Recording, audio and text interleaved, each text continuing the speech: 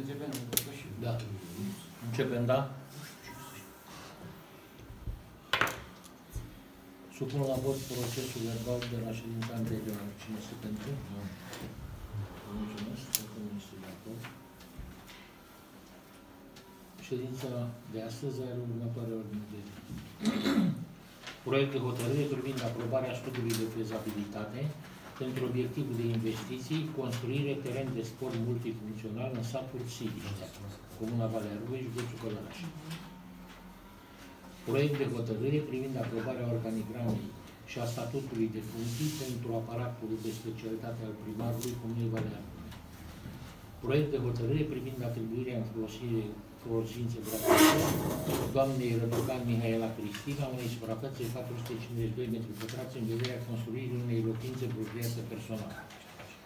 Proiect de hotărâre privind atribuirea în folosință gratuită domnului Mielu Marin a unei suprafețe de 452 m2 în vederea construirii unei locuințe propriate personale.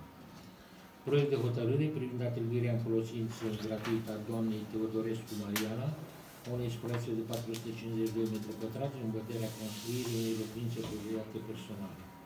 Proiect de hotărâre privind atribuirea în folosință gratuită doamnei Dumitru Veronica a unei suprafețe de 452 m2 în vederea construirii unei locuințe propriate personale.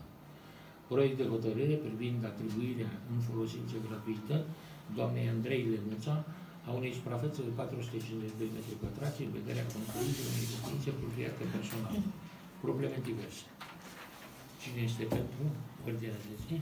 Mulțumesc.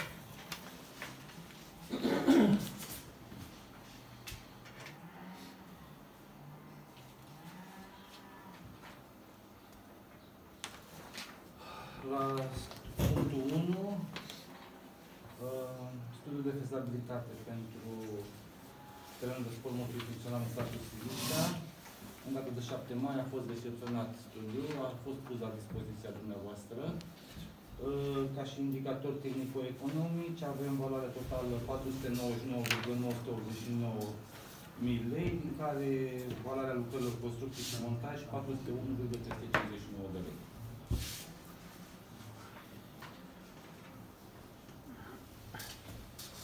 Pe că e vorba de terenul sintetic eh, de la Siliștea, terenul propus în strategia, de, strategia locală din 2020 și pe care am hotărât cu toții să-l facem eh, acum. Eh, Pentru că acum s-au găsit banii, ca să zic așa. Sperăm să-l să definitivăm până la, la sfârșitul lunii terminăm adică lucrarea. După studiul, de- după aprobarea studiului de fezabilitate, urmează uh, obținerea autorizației de construire și atribuirea lucrării uh, unui constructor. Ce valoare peste 200 de mii, dacă nu mă înșel, se cere studiu pe SEAP, nu? Ok? Ce depășește valoarea de 200 de mii de lei, se cere ofertă pe SEAP la legat de constructor. Sigur. Dacă nu mai sunt întrebări, supun la vot. Cine este pentru? Toată lumea, da? Vreo abținere? Împotrivă nimeni.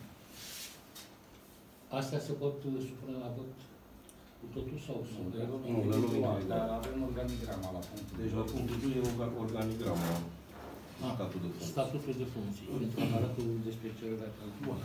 Anual se aprobă de către Consiliul Local uh, organigrama. Este aceeași structură organizatorică ca și în anul precedent. Uh, Numărul maxim de posturi comunicat de instituția prefectului este de uh, 21 plus un post de șofer 22. Uh, Singurele modificări față de anul trecut sunt cele două posturi vacante, cel de la impozite și taxe și cel de la asistență socială, care a devenit vacant luna aceasta, care au fost uh, duse la nivelul de debutant pentru scoaterea la concurs. Să sperăm că găsim pe cineva. Pentru că dacă... În, ime- în imediata perioadă trebuie neapărat să găsim la asistență socială, să scoatem de fapt postul la concurs, ne ocupăm de treaba asta, chiar dacă suntem în campania electorală, domnul secretar, nu sunt. Uh, Eu, uh, eu și cu ceilalți aleși locali, uh, vă rog să vă ocupați de scoaterea postului la concurs, pentru că uh, dacă nu știți sau poate știți, dar vreau să vă reamintesc, legea uh, a fost, uh, legea ajutorului social a fost modificată, așa uh, zisa lege 416, pe toată lumea o știe, uh, nu mai există și uh, avem o nouă lege, legea incluziunii sociale și le cumulează pe toate la un loc. Ajutorul social cu alocația suplimentară, complementară, monoparentală și mai știu și eu ce. Uh, sunt sute de dosare de, de instrumentat, secretarul nu poate să facă față singur și cu ce uh, personal mai are la dispoziție, pentru că un asistent social uh, Și așa suntem sublimenți. are, Asta avem doi asistenți are, sociali la- până la urmă e atribuțiunea lui directă, secretarul e supervisorul, să zic așa, uh, care ajută și el, dar nu are cum să facă el toate documentele astea. Deci sunt sute de dosare. Și te rog să, să ai în vedere să scoți. Oricum, postul la concurs durează 60 de zile până la organizarea concursului. Iar dacă se Să prezintă câștigăm cineva- timp trebuie scos cât mai repede. Dacă în două, trei luni angajăm om, înseamnă că e în regulă. Supun la vot punctul numărul 2. Vă mulțumesc. Abțineri? Împotrivă? Bine. Acum de câte nimic, domnul profesor. Da. Proiect de hotărâre privind atribuirea unei suprafețe gratuite doamnei Răducan Mihaela Cristina a unei suprafețe de 450 de metri pătrați în vederea construirii unei locuințe proprietate personală. Deci, Și ceilalți. toți, toți cei care sunt aici, Vreau să vă reamintesc că sunt uh, locuitori al, ai comunității, adică sunt cu domiciliu în Valea Argovei și să aibă sub 35 de ani. Deci, uh, toți cei care sunt aici îndeplinesc condițiile și le-au fost uh, repartizate. De fapt, am făcut o recunoaștere uh, cu ei și am zis, tu pe ăsta, tu pe ăsta, tu pe ăsta. Noi facem formalitatea de aprobare a hotărârilor, uh, a hotărârii de Consiliu Local ca să poată ei să-și demareze proiectul de, de construire a casei. Supun la vot. Mulțumesc. Abțineri? Împotrivă? Citiți de cât La numărul 2, Domnul președinte, aceeași situație. domnul președinte, dacă îmi permiteți, îmi permite să mă retrag, trebuie să merg la Beira, la gara de box și mai am... Sigur, da. Da. Două minute durează, domnul. Da? Da. Că e doar că de Îi de doar îi nominalizăm. Pentru aceeași situație, pentru Miru Marin. Mine lui Marin este băiatul Rita și al lui Bogu. Dacă sunteți de acord, vă Suntem. mulțumesc. Da. Aceeași situație pentru Teodorescu Mariana. Vă mulțumesc. Teodorescu Aceeași Mariana situație. este fata lui Dinu Bine, Marian. a fost rău. Pentru Dumitru Veronica. Da. Vă mulțumesc. Și aceeași situație pentru Andrei Lenuța. Vă mulțumesc. Probleme diverse. Da, domnul Doru. Mulțumesc frumos, care aveți.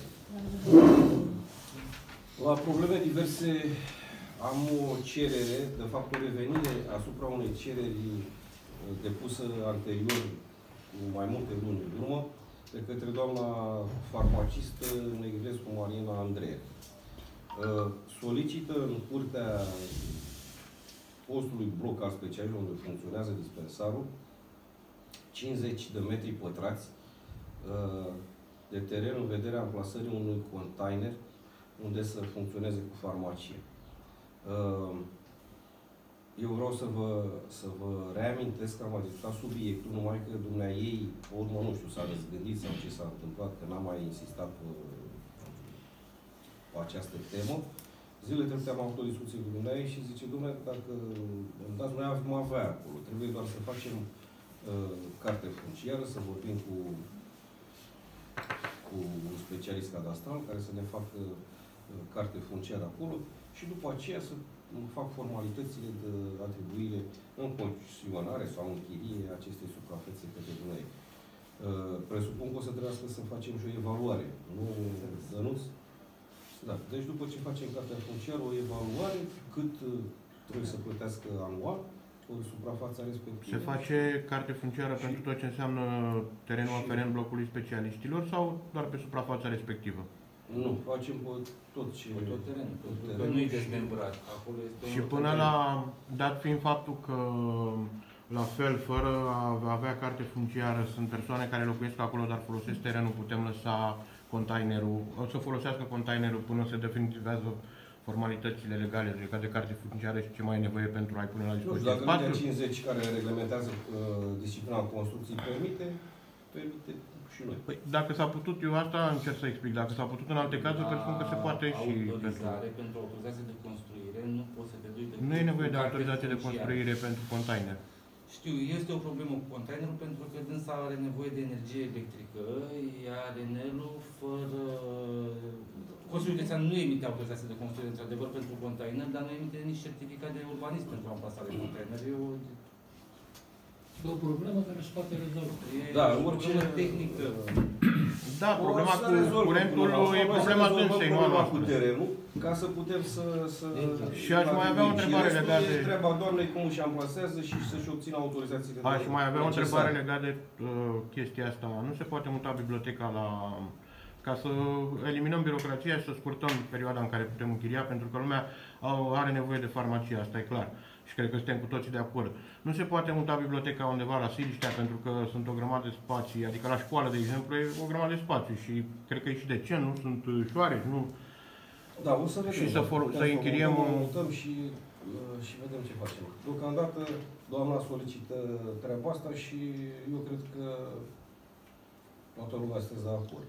Eu am vrut să vă informez, uh, pentru că imediat o să demarăm uh, întocmirea cărții funciare. Chiar astăzi o să vorbesc cu un, uh, un specialist cadastral să, să facem cadastru. Mai sunt probleme?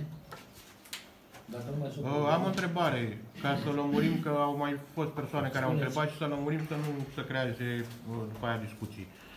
Uh, Legat de echipa de fotbal, asocia, îmi pare rău că domnul Doru a plecat, probabil că de-aia a plecat, nu că se grăbește la... E problema dânsului. Uh, ulterior, după ședință am observat, mi-a, mi-a atras cineva de fapt atenția, eu n-am știut, că a, deci asociația este pe numele domnului Doru, nu are legătură cu Consiliul Local, iar sediul e la dumneavoastră acasă, domn primar. Și m-a întrebat, m-au m-au întrebat mai multe persoane, nu este incompatibilitate? Și am zis că să lămurim în ședință ca să nu se mai creeze discu discuții și că, domne, că ia bani de la Sunt Consiliul membri- Local și își sunt dă trei lor. membri fondatori ai echipei Da. ai asociației Da. sportive sau club sportiv, cum se Da. Numește. Și nu există niciun fel de comportament. Păi, compatibil. nu, Luăm bani de la Consiliul Local, asta spun, și plătim la o asociație care nu are Aș legătură cu uita să Consiliul vedem. Local. Asta întrebam. Vă clarific eu.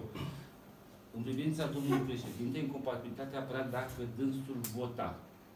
Nici nu a fost prezent la ședință, a fost absent. Și chiar dacă era Și prezent, s-a abținut. eu, eu eram obligat să înștiințez că trebuie să, să, să se abțină. În privința acomodatului care a fost întocmit la domnul primar acasă, a fost o soluție de urgență pentru instanță.